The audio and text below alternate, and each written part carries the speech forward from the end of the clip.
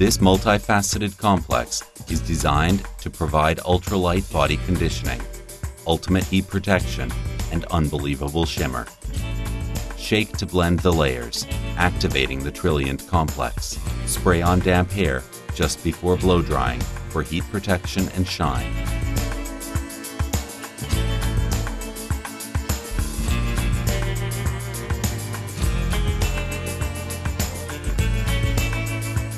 Apply on dry hair for added detail and finish. For hair that loves to get dressed to the luxe, Sebastian shakes up Diamond Shine. Trilliant. Glam is the word.